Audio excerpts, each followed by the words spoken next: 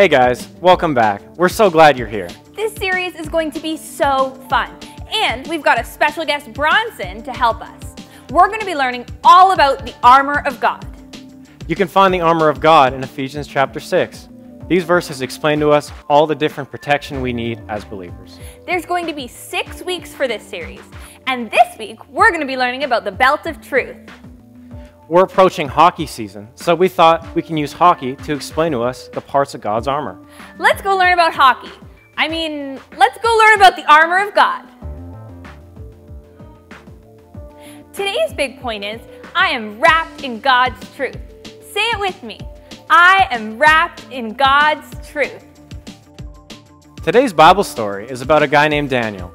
He was a very faithful believer of God, and he spent a lot of time praying and following God's plan for his life. Daniel was a court official in the Babylonian court. He was very good at his job and worked there for many years. Daniel was even promoted to be in charge of the entire empire. The other court officials got jealous and tried to even find flaws and bad things about Daniel, but they were unsuccessful. Daniel was faithful, loyal, and trustworthy, and everyone knew it. The other court officials decided that Daniel's only weakness was his faith. They went to the king and told him to make a new law. This new law was to throw people into the lion's den if they prayed or worshiped anyone except the king. This meant that if Daniel prayed to God, which he did three times a day, every day, Daniel would be thrown into the lion's den. The king signed the law, and in those days, when a king signed the law, it could not be overruled and there were no exceptions made. When Daniel heard about the law, he chose to go home and pray to God. Daniel did not stop praying and continued to pray three times a day, just as he did before the law was created. The other court officials went to Daniel's house and caught him praying. So they went and told the king what Daniel had been doing, and the king was very upset when he heard this. The king loved Daniel and spent a whole day trying to think of a way to save Daniel. But because the king signed the law with no exceptions, there was nothing the king could do to save Daniel. The king was given no choice but to put Daniel in the lion's den. So he ordered the guards to go get Daniel and meet them at the den full of lions. Before throwing Daniel in, the king said to Daniel, May your God, who you are faithful to, save you. And then Daniel was thrown in and the door was sealed shut, leaving Daniel in the lion's den with a bunch of hungry lions and no way to escape. The king spent all night worrying, and as soon as the sun started to rise, he ran down to the den and yelled to Daniel. And Daniel responded. Daniel explained to the king that God had sent an angel to shut the lion's mouth. This made it so that the lions could not harm Daniel. God saw that Daniel did nothing wrong and showed him mercy. The king was so happy that Daniel wasn't hurt. The king ordered all the guards to pull Daniel straight out of the den. Daniel knew the word of God. He also spent a lot of time praying to God and following God's direction. Daniel was being faithful to God, and it not only saved his life, but it also showed the king how powerful our God really is.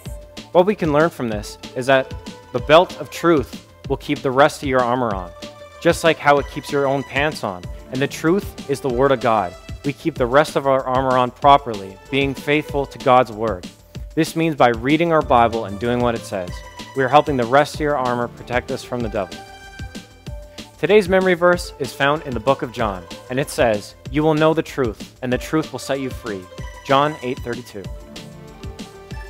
Hey guys, and welcome to the Faith Kids Arena! We're here with Blake and Kiara, and today we're going to see which of our contestants is faster.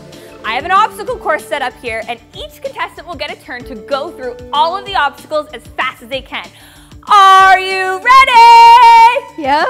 Awesome. Okay, so Kiara, you're gonna go first. You can go to the start, and I'm gonna hand you a stick and a ball. Does anybody have a belt? I left mine at home. Um, no, sorry, but it'll be okay. You'll be fine. All right, three, two, one, go! Go, Kiara, you can do it!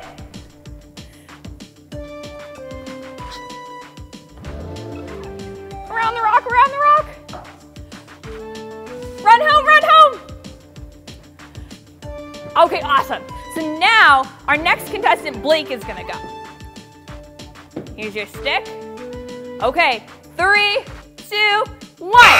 Go! You can do it, Blake! Go, go, go!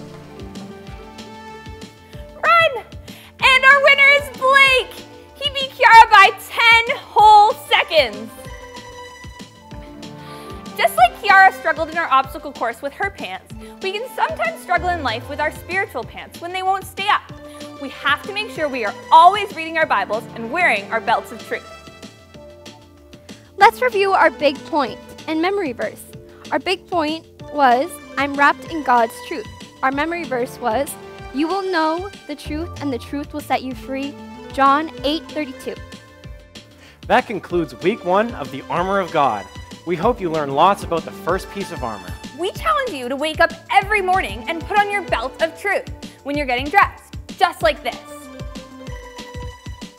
This will help you overcome all the difficult things throughout the day because you'll know in your heart that you are wrapped in God's truth, and God's truth will set you free from the enemy. We'll see you next week when we learn about the breastplate of righteousness. I can't wait. See you then.